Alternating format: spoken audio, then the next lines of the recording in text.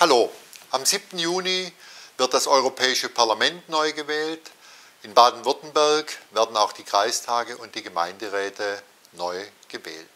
Ich bitte Sie heute ganz herzlich, gehen Sie zur Wahl und stärken Sie die FDP.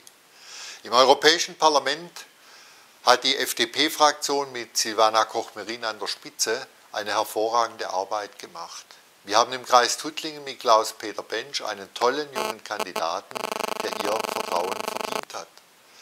Für die Gemeinderäte und für die Kreistagswahl treten wir mit den besten Listen an, die wir jemals hatten. Bei der Kreistagswahl mit einer vollen Liste in allen Bezirken, bei den Gemeinderatswahlen wie schon bisher in Tuttlingen, in Drossingen und in Geisingen, neu jetzt auch in Speichingen und in Wurmlingen.